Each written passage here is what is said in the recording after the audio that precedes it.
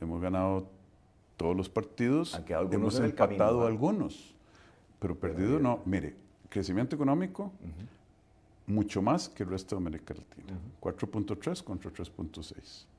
6, 7 meses ya de crecimiento sostenido. Impulsado por zonas francas principalmente. Sí, pero es crecimiento de la economía Claro. y estamos atrayendo inversión, aunque el régimen definitivo creció 1.1, que no es despreciable comparado con eh, el desempeño eh, histórico, no es despreciable, no es lo que yo quiero, pero es histórico. Desempleo bajando eh, de manera brutal. Vea, antes de la pandemia, ¿cuánto estaba el desempleo? 15 algo, ¿verdad? 15.2. Un poquito 15. más arriba. Hoy salió a 10 más arriba, antes de la pandemia. Hoy estamos a qué? 10.6. 10.6% según INEC. 10.6. Bueno, eso es una reducción de 50% de la base. de Claro, y, y- y estoy de acuerdo en esa, en esa lectura, presidente, pero también es cierto que hay gente que no está buscando trabajo porque ya se cansó, ¿verdad? eh, eh, los desalentados que llaman. Sí, señor. Mire que la tasa de empleo se mantiene más o menos estable, entonces es un argumento para ponerle el pelo en la sopa. Pero es una realidad, presidente, Sí, no se pero, puede negar. pero, pero le subiría un poquito. Mire la, la informalidad, viene cayendo. Usted vio el reporte hoy, viene cayendo sustancialmente, estamos en 48.1, etcétera. Sigue siendo alta la, la el empleo femenino en números absolutos fue más el crecimiento que las mujeres. Claro, usted puede decir, ya, ya no es el 10.6, pongámosle el pelo en la sopa, debiera ser el 10.8. Esos son sobreargumentaciones para distraer del mensaje principal.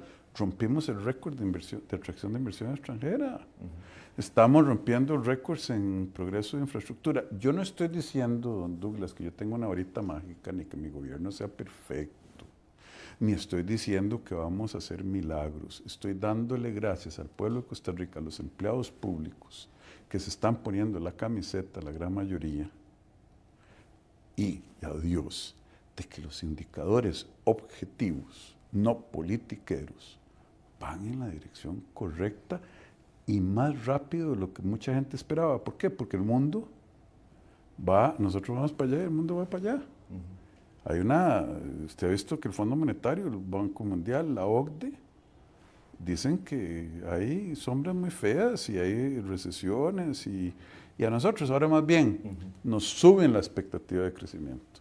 Y no lo digo yo, lo dice Fitch, lo dice Standard Poor's, Standard Poor's, lo dice The Economist, el país campeón de toda América Latina en mejorar el ambiente de inversión. Eh, Claro, y, y eso ahí cuando, cuando sucede eso, uno dice, bueno, hay cosas que se han hecho bien y, y se están reconociendo. Y, y- y qué bueno que eso esté pasando y que la discusión que tengamos en Costa Rica sea que aparecemos en titulares de forma, de forma positiva. No es la realidad para otros países que tienen problemas muy profundos. Sí. Eh, no, no es que Costa Rica no los tenga, claro que los tiene. Creo que inseguridad es un tema y que va a requerir un esfuerzo Sin realmente duda. importante. Presidente, usted mencionaba inversión extranjera directa y tengo que, que- que preguntarle, creo que hasta hoy usted no se, se ha referido mucho al tema de- del rompimiento del convenio Procommerce de eh, eh, Comex. Eh, entiendo de las explicaciones que se dan lo que, lo que realmente pasó y, y se habla primero de un tema de estrechez fiscal, si se quiere, pero también el ministro ha hablado de otros temas de, de metas no incumplidas, de, de- de- poca inversión, digamos, en zonas fuera de, gran área metropolitana. ¿Qué, ¿Usted cree realmente o cuál es su posición al respecto con todo esto? Mi posición es que el ministro, la Junta Directiva de Procomer, las cámaras de comercio, eh, perdón, las cámaras empresariales representadas ahí, eh, tomaron la decisión correcta. Eh, Cinde es uno de esos casos donde la gente que no sabe, como Luis Guillermo Solís en esas declaraciones tan desafortunadas, dice son parte de la institucionalidad, ¿no? Cinde es una coalición absolutamente privada. Eh, Declarada de interés público, presidente. Sí, sí, sí.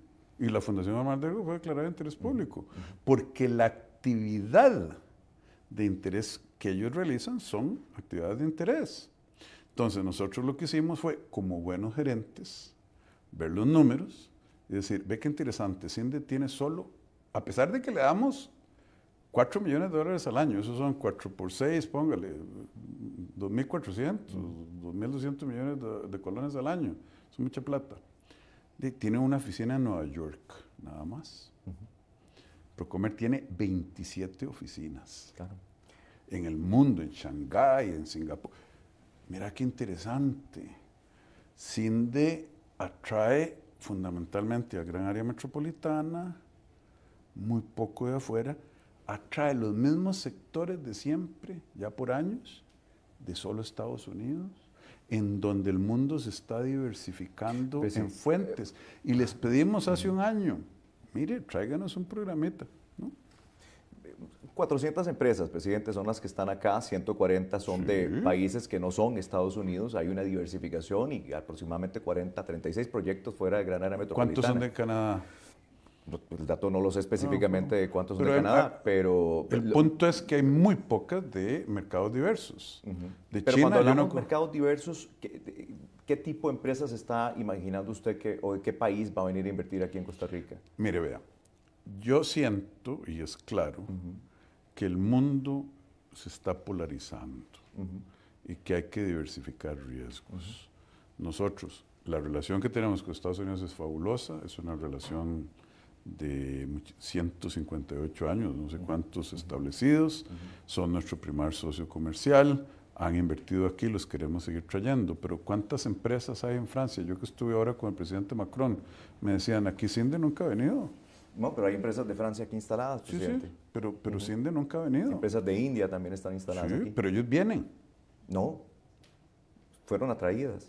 Hay, hay un efecto de follow the leader, de seguir al líder, que es natural cuando una empresa como Intel, cuando Procter, cuando Abbott, cuando IBM Sí, eh, vienen a Costa Rica porque son los líderes en el mundo. La mayoría de empresas que han venido, su liderazgo en Estados Unidos es evidente, yo creo que eso no está en cuestión.